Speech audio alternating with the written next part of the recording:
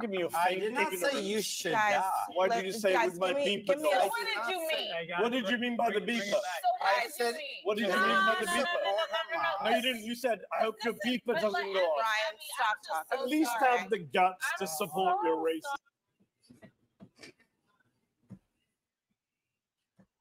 What do you guys think? Uh, it's, look, and by the way, I got this at 0.75 times speed. It's actually faster than this in real time.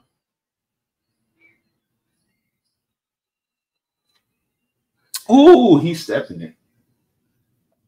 And saying something like that, who says that? I hope your beeper doesn't go off.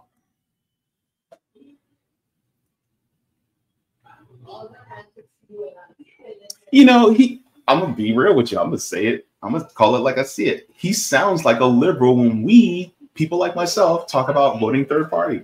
He sounds like a liberal. Well, I hope Donald Trump doesn't do such and such and such to you. Or when I defend the Palestinians, well, you're a gay guy. So I hope you the I hope Palestinians don't throw you off a roof. You see the similarities? You see the similarities between the liberals and the conservatives that are in both parties? So here's the thing. Um, I feel like uh, Zionism is really getting its mask off moment. It's been happening all of 2024 primarily. Uh, Katt Williams was right when he said on Club Shay Shay that everything will be revealed in the year of 2024. And I'm gonna be honest with you, there has been a lot of revealing things. And we what we see now is somebody like Mehdi Hasan is really seeing the extent of how much Zionism really permeates corporate media. And yet Mehdi Hasan still says that we need to side with the Zionists in order to prevent another Zionist from committing genocide. So we're going to get into this because it is very important. Um, and I'd like to share with you guys. So we're going to go into this. So there's a man by the name of Ryan Girdusky who said something pretty bad to Mehdi Hasan. And I want to get that, and then I want to get the follow following follow up and blowback from it. So let's get into it. If you don't want to be called Nazis, stop doing. You're you called an stop saying- anti-Semite. You've been called an anti-Semite more than anyone else things. at table. Yeah. And people will By sit there and no, by me. I never called you an anti-Semite. So the gentleman on the right is Ryan Girdusky. Um, and then Mehdi Hasan you see on the left. Well, they're actually debating what uh, was said at the latest Donald Trump rally. Uh, Donald Trump has actually had a rally in Madison Square Garden in New York, and that was a huge rally. He filled up Madison Square Garden, but there was some things that were said that are bigoted and racist that were said there, and the gentleman uh, Ryan uh, is on the right, and he's defending basically the jokes and things that were said that were bigoted as well. And Mehdi Hasan is taking him to task on it. So I want to just set that up so you guys know exactly what this gentleman says. And so, and I want to make sure you guys got that kind of context when it comes to this. So let's go back just a little bit and let's continue. You've been called an anti-Semite more than anyone else things. at this table. Yeah. And people will By sit there and no, by me. I never called you an anti-Semite. I mean, I'm not sitting here saying I I don't. am I'm a supporter of the Palestinians. So I'm used to it. It's Yeah, fine. I, well, I hope your beeper doesn't go off. The thing is, is Did that you just say I Oh, should wow. die? you,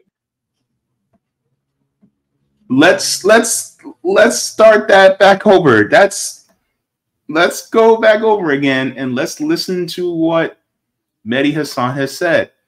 And let me see if I can I change the playback playback speed. Yes. Let's slow it down. Okay. because we gotta we gotta get this. If you don't want to be called Nazis, stop Uh, doing. You're you called don't- an you anti- no, no, no, undermine- You've been you called an undermine- anti-Semite more than saying anyone else things. table. Yeah. And people would By sit you. there and no, by me. I've never called you an anti-Semite. I mean, I'm not sitting here saying I I don't. am I'm a supporter of the Palestinians. Okay, so By me, I've never called you an anti-Semite. you said I never called you an anti-Semite, right? So basically, he's defending Israel. I mean, I'm not sitting here saying I I don't. I'm, I'm a supporter of the Palestinians. I'm used to it. It's Yeah, fine. I, well, I hope your beeper doesn't go off. The, So let's let's examine. I'm not sitting here saying I I mean, don't. I'm, I'm a supporter of the Palestinians. I'm used to it. It's Yeah. I, well, And then he says, I hope your beeper doesn't go off. I hope your beeper doesn't go off. So this is basically a reference to the beeper attack that Israel did against uh, people in Lebanon. And was that a threat to Mehdi Hasan, or was that a just a very poor joke? What do you guys think? Because some are saying that it was a threat. Some say that it was just, you know, a very poorly executed joke, a very a joke in poor taste. But there's a lot of outrage over this. Now, if it is a threat, then yes, I think the outrage is appropriate. My thing is, I think that I think that there should be outrage, but there should be even more outrage over what's actually legitimately going on in the ground in places like Gaza and the West Bank and in Lebanon at the hands of Israel as well. I think we can have outrage on both, and I think there should be outrage on both if this is perceived as a threat. Now, I had to slow it down so that everybody can hear because people are talking over each other. So let's continue and let's go over this because Mehdi Hasan goes, What? The thing is, is Did that you just say I Oh, should wow. die? you, You should not. no, I Did said, you just say I should be killed? No, I did on not live say that. I said, CNN? no, I did not say that. Hold on, hold on. your guest just Let say me- I No, should I be didn't. Let me, hold on. on live say? TV? I said I hope Guys, you don't. let me let me just stop. You said you let hope my beeper Beeper doesn't doesn't go go off. Because off. stop that right now. Of the Yeah. Palestinians. Of Hamas? Guys, let I me said stop. Are, Palestinians. are you? A supporter Am I what? No, of course I'm not. Palestinians supporting are not- I Are you a Ryan. racist? So he thought that he was defending Hamas for some reason, which is always an excuse. And anybody who knows Mehdi Hasan knows that Mehdi Hasan has never defended them, even though Mehdi Hasan had Mehdi Hasan does not defend defend the people who are resisting occupation, which is really beyond me because I'm like Mehdi Hasan, you're Arab and, and you're Muslim eh, but yet you're not going to defend people who are uh, trying to defend their home. But it is what it is. But the thing is, is that this guy is saying, "Well, I thought you were Hamas. I thought you were defending Hamas," and it's like, no. Let's continue. And I violent apologize. person I inciting apologize. violence against Ryan. Ryan, That's that is completely. Then I Good apologize. That is job, CNN. Let's have first block say the. Muslim guy You should be that. blown Then I up. apologize. on Then I TV. apologize. Don't I say But I, I, I apologize. That's my sorry for 2004, and I ain't gonna mess up no more. Oh boy, you stepped in it, didn't you? And the funny thing is, like, he was just trying to defend from saying bigoted things at a Trump rally, and then he just. oh my gosh, this guy. It's it's it's it's it's uh it's not good. It's not good. Ryan is a bad hombre. Bad hombre. Ugh, it's not good for you, Ryan. Hey, Oh, don't say then I apologize. You literally. I thought he said Hamas. him. You didn't think I said No, Hamas. no, I said I didn't. supported Yes, Palestinian Yes, rights. did. Why? Because when you hear what's funny is you Rudy hear Hamas. Giuliani said this No, yesterday, because- so you're a great guest Listen. to be here. All to right, defend I Rudy Giuliani. Give me I one- wasn't give me- to give me one nonsense sec. today, and so at this point, This is what we're I in now. This do is this. America in Okay. here's 2024. what I will say. Forget the Here's what I- racism. That's It's I should That's die. right. I didn't That's- say that- that. You You should said what die. does, what does beeper mean? Don't give me a I fake I did not say you should Guys, die. Why let- did you say it guys, with my give me- beeper? me So what did you mean? What did you mean by the beeper? So I said- you? What did you mean by the no, beeper? No, you didn't. You said, I hope your Listen, beeper doesn't go off. Ryan, I'm stop just talking. so At least have the guts to support your so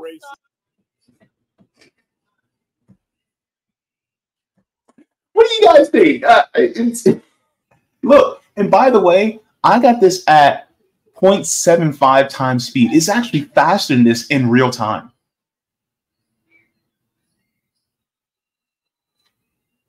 Ooh, he's stepping it. And saying something like that, who says that?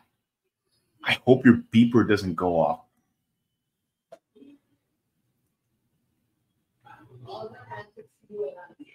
You know, he I'm gonna be real with you. I'm gonna say it. I'm gonna call it like I see it. He sounds like a liberal when we, people like myself, talk about voting third party.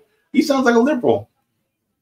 Well, I hope Donald Trump doesn't do such and such and such to you. Or when I defend the Palestinians, well, you're a gay guy. So I hope you uh, hope Palestinians don't throw you off a roof.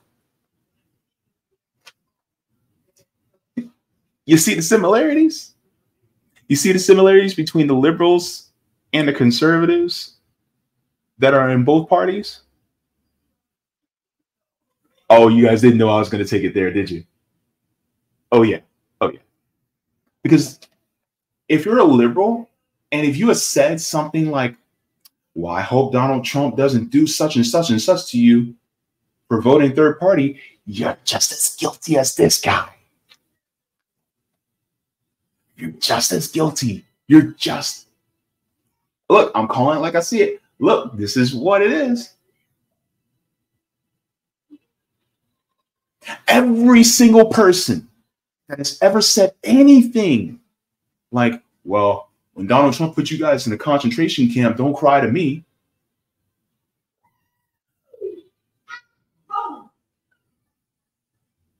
When Donald Trump uh, when Donald Trump, you know, bans all your rights or does such and such to black people, don't come after us. That's the same thing as this guy basically saying, I hope your beeper doesn't go off.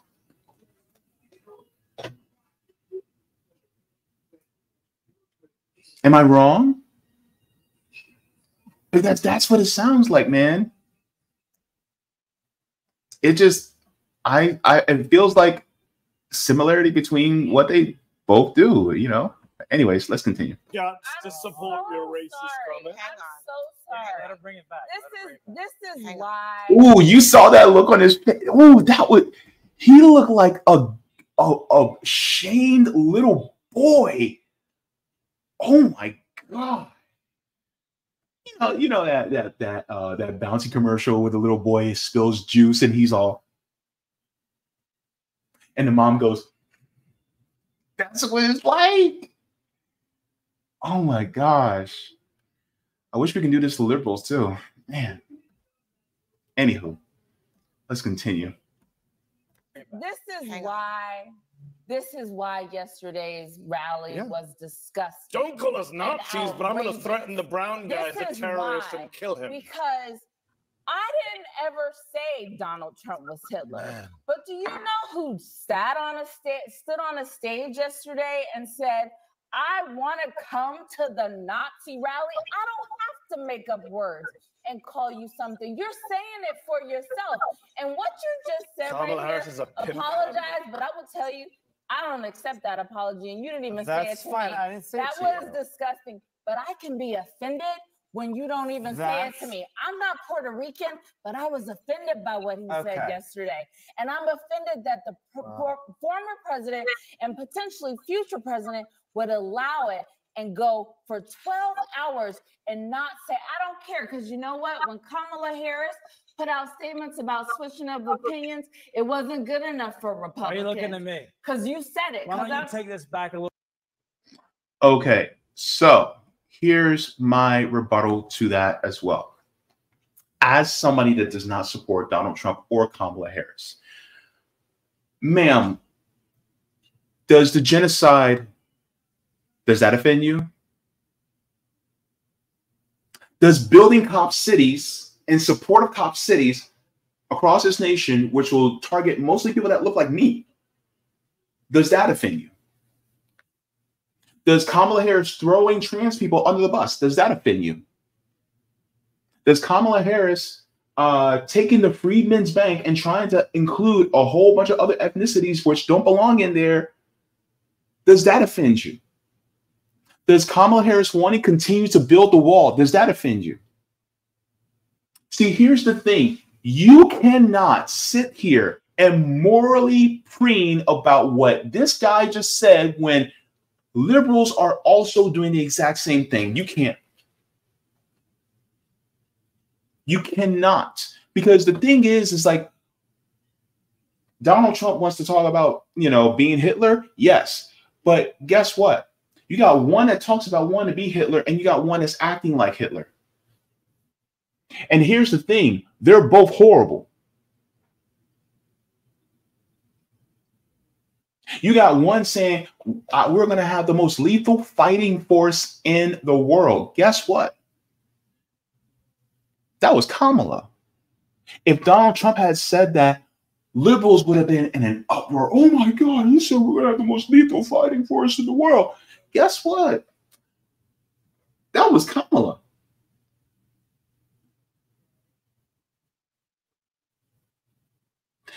I'm not saying that Kamala is.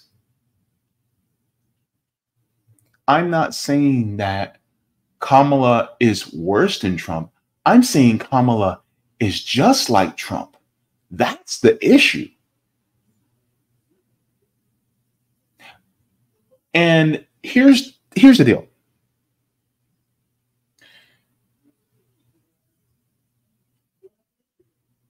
Is Donald Trump's rhetoric reprehensible? Yes. Is his actions reprehensible? Yes. And if Kamala Harris and Joe Biden are doing the same actions, same policies as Donald Trump, does that also make them reprehensible? Yes.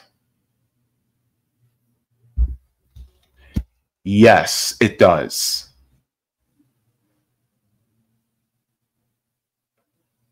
And so here's my thing. If you're going to be offended at what this gentleman said, then you need to also be offended at the actions that people like Kamala Harris and Joe Biden are also equally doing. But you keep your mouth shut. This selective type of outrage that continuously happens. And guess what? A guy like this, look, this is breeding ground for you know all these type of zionist thinking at these corporate media outlets. And this would happen at cnn fox news newsmax msnbc abc and they're, and they're going to go well this is no place for that. You guys have bred this. You guys have allowed this to continuously happen. And you guys barely if ever have on somebody who's palestinian who actually uses their voice on these programs. And even if they do, you guys don't have any Palestinian representation at your in, in your news organizations. Where's the Palestinian bureau chief? Huh? Where's the Palestinian uh, news anchor? Where's the Palestinian contributor that comes on on a regular basis? Somebody that actually talks about Palestinians having a right to exist. Palestinians having a right to defend themselves. Who is on there saying anything like that? You guys don't have that. And then you'll have people like Mehdi Hasan, who, yes, he will defend Palestinians, but he'll also he'll also condemn their resistance to occupation. You'll have people like Mehdi Hasan who will morally try to do pretzels, twist himself into a pretzel to talk people into voting for somebody that's still committing a genocide against the Palestinians, but yet saying Palestinians should have a right to defend themselves. You, you see how it's incongruent? It doesn't make sense. Mehdi, you're still you're still vouching for somebody committing a genocide. Now, what this gentleman did to you was wrong, absolutely.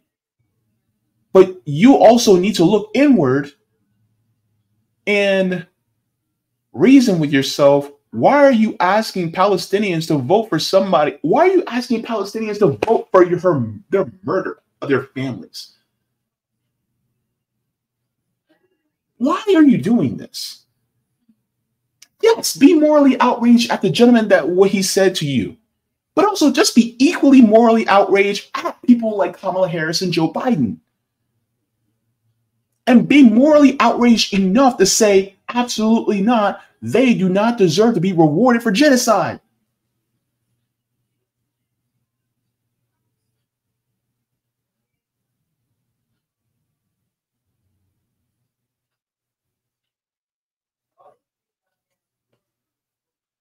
Have some guts, man. You got enough guts for this guy, but you don't got no, enough guts for Joe Biden and Kamala Harris? Grow a pair. Grow a spine. My God. People on this corporate media, they will stay within the duopoly, with the two-party system, because they're so afraid of what? Miss cackles a lot? Because you're afraid of Mr. Tangerine Man? When in reality, they're both doing the same type of policies? You guys are more afraid of the personality than you are the policy. Be like, be outraged at the policies.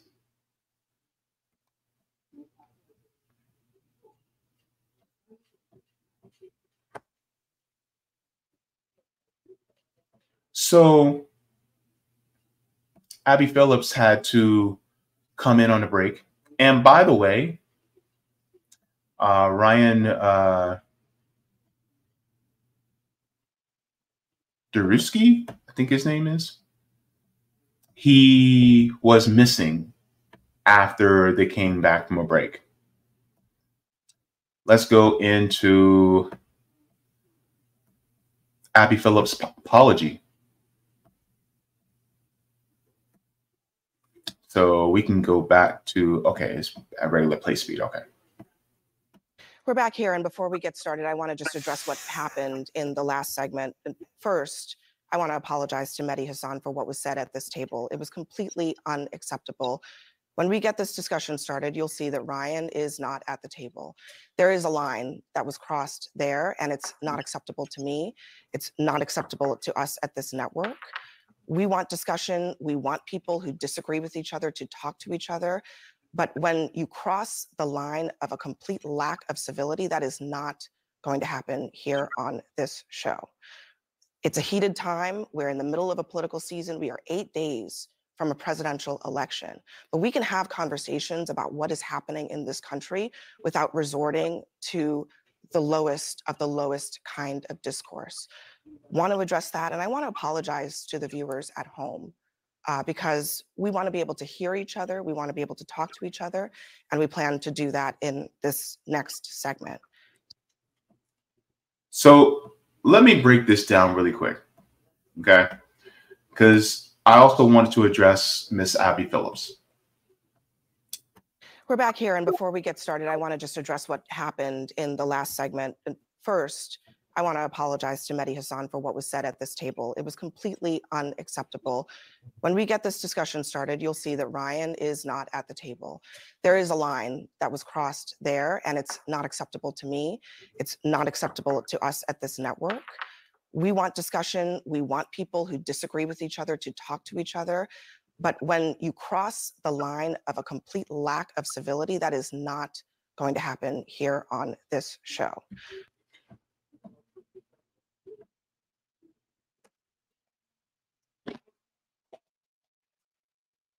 Just think about what I said earlier.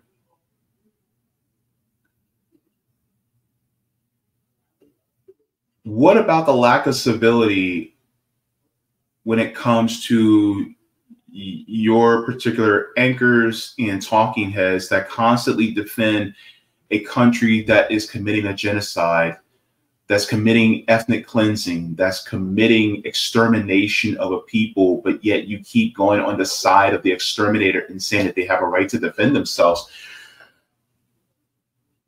Is that also reprehensible as well? Are you going to call that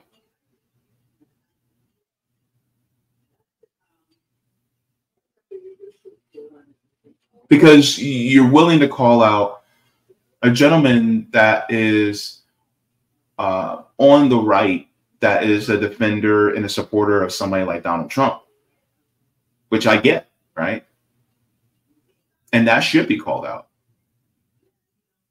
But what about what's going on in Israel? Are you going to continuously have somebody, you know, skirt on the narrative like a Jake Tapper or a Dana Bash, and they're going to continuously defend, especially with their narratives and questioning, a an ideology or a state that's continuing a genocide and you know murder of hundreds of thousands of innocent palestinians. Are you going to continue to allow people to speak for a government that continuously does terrorism against a people that is occupied, against a people that is living in an open air concentration camp? Are you going to call out that?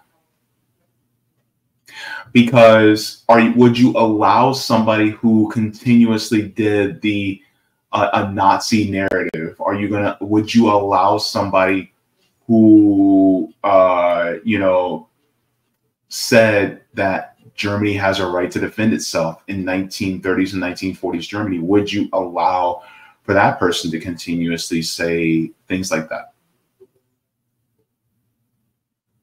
Are you going to continue in the well, the United States or the British colonies had a right to defend themselves from the Indian savages. You know what I'm saying?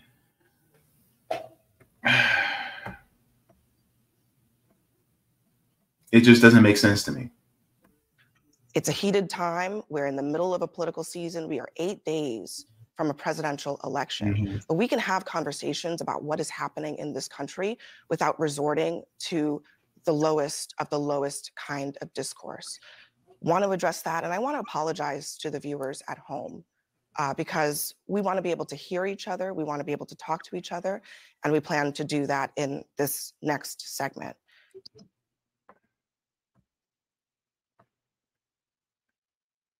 So the gentleman that was basically kicked away, kicked off, I want to go to his page because apparently he spoke out. Uh, G- uh, Ryan Girdusky. Let's go to his page really quick because apparently he spoke out against it. So this is his page, right?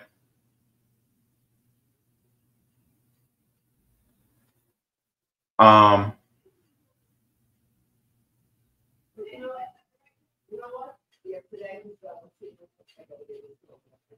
let me see.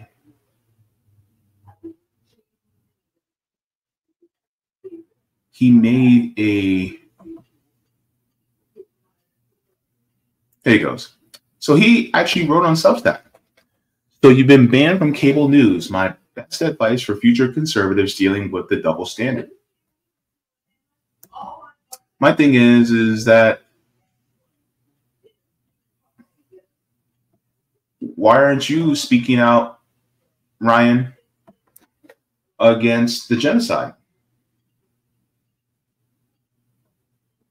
Why aren't you speaking out against it? It's clear that you won't because of what you said to Mehdi Hasan. When someone tells you who they are the first time, believe them. And trust to believe, I'm no Democrat. Because the Democrats are all about the corporations now, just like the Republicans. So I decided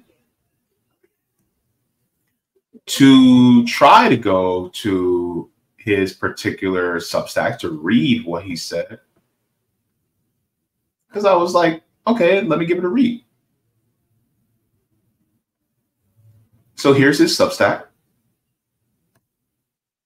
And it's entitled So You've Been Banned from a Cable News Network My Best Advice for Future Banned Conservatives. This is from Ryan James Girdusky. Right? And he wrote that earlier today. But you have to pay to read it.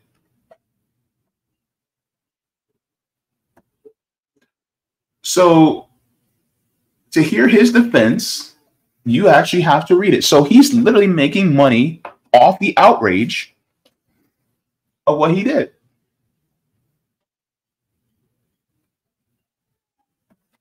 So much for being remorseful, so much for being sorry. So now you're going to make money off of it.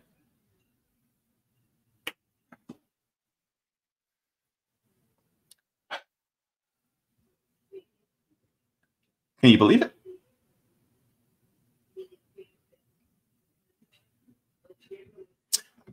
So, was he wrong? I believe so. But also, I think that the people who are sitting at that table also need to reflect on the actions and policies that they're willing to co sign on that's being done by an administration and look inward to what they're willing to accept. Are you willing to accept your rights being dangled in front of your face in order to accept atrocities being committed against people here and abroad? Are you willing to accept your rights as LGBTQ people in exchange for allowing this administration to carry out a genocide or this administration to allow a police state to bubble up forth in this country? Are you willing to allow this administration to dangle in front of you your rights to body autonomy in exchange for throwing trans people under the bus in exchange for allowing other people who are the same gender as you to be massacred in an area where miscarriages have exploded 300%. Are you willing to allow and accept that? Are you willing to allow and accept someone who's willing to throw migrants under the bus and continue the destabilization that causes the migrants to come here in the first place in exchange for your rights? Are you willing to allow somebody who doesn't give a crap about black people for your rights? And I put that out also to people who are willing to vote for Trump too because you're doing the exact same thing. Are you willing to sacrifice others for your rights?